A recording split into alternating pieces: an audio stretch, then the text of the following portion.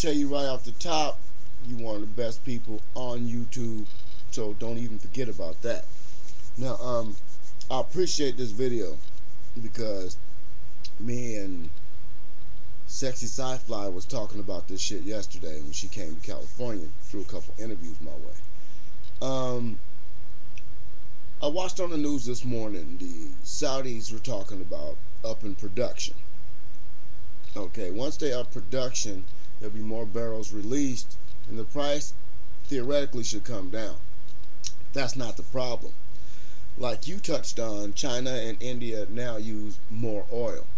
Now, I saw somewhere the other day that America uses 50% of the oil pumped out of the ground, and the rest of the world has to deal with the other 50%. There you have it as a problem right there. Our addiction to oil, put it like this, it's not just an addiction, but you know how, I don't know, I don't want to go there like that. Okay, you know how when some people sell drugs, I just want to use that analogy, their addiction is to sell the drugs. Now, these oil barons, that's what I call them, their addiction is the control that they have with their oil. Now, the American dollar is on the verge of collapse based on the videos I've seen. I don't do research. All you young guys do research. And I'm glad you guys do the research because you can correct me when I'm wrong. I just speak from the basic knowledge given to me by my forefathers. So, in saying what I just said, which probably made no difference to the conversation in which we're having, let me get back on point. You know, I made comments about how America, you know, not too many people had SUVs, and then SUVs, everybody started getting SUVs, they were bigger and safer. The speed limit went up. You know, different factors. We use more gas, and everything is trickled down. You know, it's like we've been set up for something, and the end is not nowhere near. The end, we're nowhere near the end. And just recently, corn prices and soybean prices, all these prices of other, even the prices of meat are going to go up. Now, there's people who can't afford to feed their family as it is. Now you can't afford to put gas in your car to go to work to feed your family. See what I'm saying? We're being forced into a third world like feeling. It's going to be a lot of shit jumping off. A lot of poor people. A lot of people are already siphoning gas out of other people's cars. You know, I had a little gas can in the backyard, in a shed, for when I mow my lawn. It ain't in my car. They didn't steal the lawnmower. But you know what they did? They turned it over, drained the gas out of it. Life, we, we get to see the fucked up part of our life. You know how, how when you talk to old people, the ones that are still left there, how they tell you it was fucked up in the 30s. We are in our form of that. You know, our economy is to shits. People around the world don't trust us. We're not the number one entity no more. Because once we emerge out of this shit, we're going to be like third or fourth. And America in fourth place.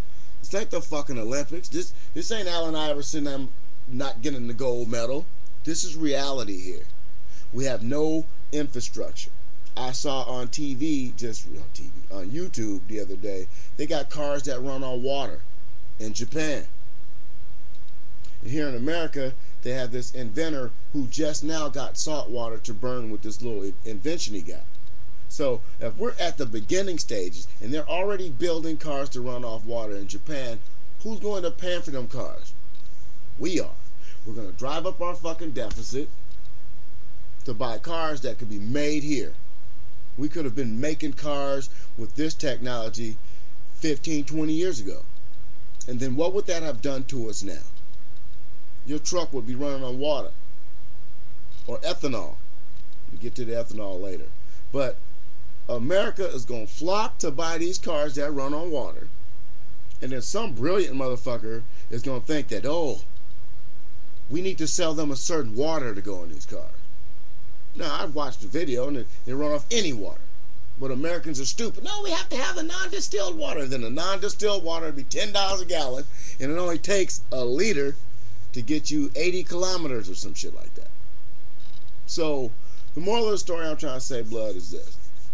We are been set up and funneled into a direction that the American people aren't ready to go in. In other words, those people who don't have to worry about how much gas costs because A, they got a gas card and we're paying for their gas anyway. B, they just richer than shit and don't give a fuck. And C, they don't drive. But me, you, my wife, your wife, or whoever's wife, whatever, has got to put gas in that tank to go to work. Getting to ethanol. Now, ethanol is a gas made of corn or some shit like that. I forget. I used to know. But did you know we can make gas out of hemp? Get back to ethanol.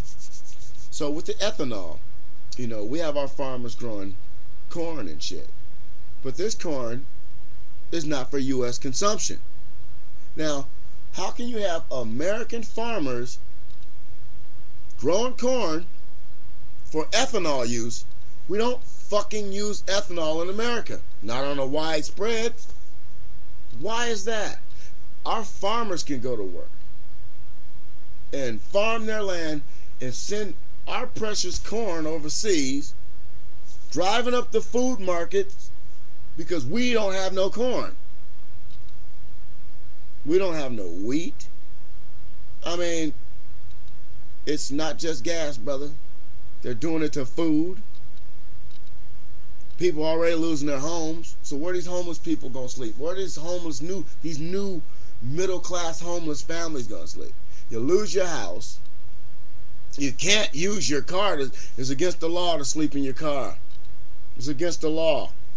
So you can't have your family in your car. Then, if you could put your family in your car, you can't afford to drive around till everybody go to work and school. We are in a form of fuck the people now. And when we come out of it, like I like I said, only the cream will rise to the top. We're gonna have to do some stankety, shaky, janky shit to stay near the top. Because anywhere near the bottom, motherfuckers might roll in and just take our shit. Hey, fuck it. You don't deserve that house, the car, nothing. We're just taking it. You can't take my shit. Click, click, clack, clack. It's taken.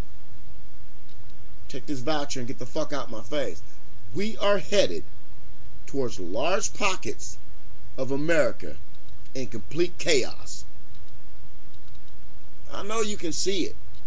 Remember when we was kids, they had the, the, the 1970 something, they had the, the, the gas thing. The gas was so fucked up and low, low gas and you can only get your gas every other day depending on, it was fucked in this day and age, you do some shit like that now, it's gonna be people running up in the gas station. Fuck you! Turn the pumps on. Clack, clack, clack, clack. Pumps get turned on. We're headed towards. It's not gonna be a civil war. It's gonna be a civil implosion. You know, there's no jobs. I say no. There are no jobs because the average American can't start over at the bottom. That therefore there are no jobs. We need to encourage our high school kids to snap up these little low-paying jobs, but there's laws against children working. America in itself is a riddle. Gas prices are just one piece of the riddle. Like I said, the OPEC ministers, or whatever they call them, have said they're going to up production. George Bush, our loyal president who wants only the best for us. He wants us to drill for oil on our coastlines. Coast of California, we drill for oil out here. The state of California does not get one penny from the oil drilled out of the ground off its coast. The state of California has a deficit bigger than some small countries. The state of California itself can go bankrupt. A lot of people don't think a state can go bankrupt. But if a state in the United States of America goes bankrupt, what happens? Will it, will it be divided? Will the state be broken down and given to the neighboring states on the borders? We are suffering in this country like no other. And videos like the one you just did just prove it. Prove it in a big way. thank you. And I hope I enhanced your video a little bit. I can't make it any better. But, you know, either there's some large scale protests or we're going to just bend over and cry. Thank you, man. One, and they've been tubed.